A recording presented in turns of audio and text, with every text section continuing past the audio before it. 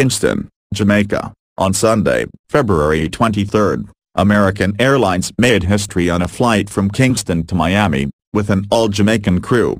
Flight 2370 was operated with the Boeing 737-800 and a Jamaican crew that included Captain Robert McPherson, First Officer Sean Nelson and flight attendants Leah Duhaney, Shane Winter, Mario Facey and Stanley Franklin.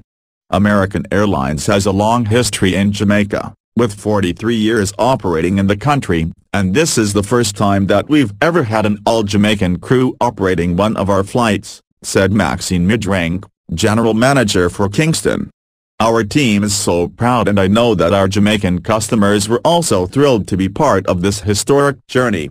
American is a company that values diversity and inclusion and this crew exemplifies that commitment. Captain Robert McPherson, from Kingston, has been an American Airlines pilot for more than 20 years. After three years flying together, First Officer Sean Nelson and I are now going to fly different aircraft, so this was our last flight together. We couldn't believe that on this particular flight we had an all-Jamaican crew. Before the flight, we all had ackee and saltfish for breakfast, the perfect way to start this special day, added McPherson. Flight attendant Stanley Franklin, from the parish of Portland, remembers the excitement around the flight. Being a part of the all-Jamaican crew was exciting, to say the least. We were shocked and excited when all four cabin crew were all Jamaican but when we found out the cockpit crew both are Jamaican as well, we realized it was an unusual and special occasion. Passengers also took part in the fun.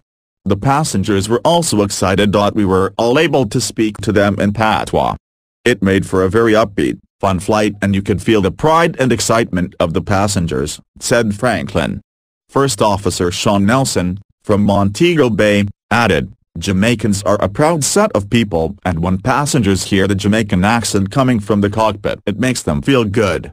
You get a lot of respect moan and big up when we greet and say goodbye to those passengers. After a 2-hour and 6-minute flight, a A2370 landed in Miami at 8.50 a.m. Flight attendant Leah Duhaney made her arrival announcement. This all-Jamaican crew would like to welcome you to Miami.